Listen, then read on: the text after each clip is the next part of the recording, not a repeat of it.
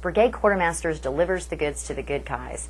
In our B-Cast, we're going to tell you about some of our favorite products, tell you about some great gear that we think you'll like, new gear as well, and also about some discounts and some great markdowns on some products that you already know and love. If you'd like to stay on top of the Bcast and know when we post a new one, or you'd like information on our products, or learn about new gear or great sales that we're having, sign up for BMail, www.brigadeqm.com. Just click on the BMail link right at the top of the page. Hi, this is Kevin Miller from TAPCO, and I wanted to cover two upgrades to the AR-15M16 system that you can purchase through Brigade Quartermasters. First one is going to be a rear flip-up sight. One of the most important things with this weapon, as you can see, it's a flat top upper receiver variant of the M4 M16. With that, you have a flat top with no iron sights, no backup uh, mechanical sights that's built into the weapon. We do have a EOTech optic on top. But with any weapon that you have an electronic optic, Murphy is alive and well, you'd want to have a backup iron sight that will always be zeroed and will require no batteries or any other type of uh, optics enhancement. So what we have is the Midwest Industries a2 style sight that mounts on is an emergency backup rear flip-up sight for the weapon. What's nice about this model is it has an A2 drum and aperture from the standard M16 A2 sight system. Easy to attach. You simply drop down this cross piece onto one of the Picatinny rails in the upper receiver.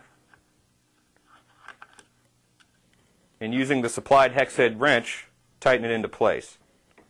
Don't over tighten on aluminum upper receivers. Uh, obviously, you can cause some damage, but Put it really tight. You'll be fine. This is in a down position. You want to keep it in a down position when you're using optics so you can completely see through an unobstructed view. However, if the optic would go down and you would require backup iron sights, you simply flip it into place and you're back on to being able to see your target. It's a great insurance policy. Another upgrade that is uh, popular, and I think it's gained uh, momentum over the years, is the use of a vertical foregrip. A lot of people still like the traditional style of a rifle. However, it doesn't give you a solid platform to pull the weapon back into the shoulder. So we manufacture the Tapco vertical foregrip. It Attaches to a Picatinny rail, whether uh, it be a quad rail system or it's a traditional uh, forearm assembly with a Picatinny rail bolted to the bottom of it. This will work with all of them. Simply index this cross piece onto the position of the rail that you want. Take a standard flat tip screwdriver, Drop this onto the rail.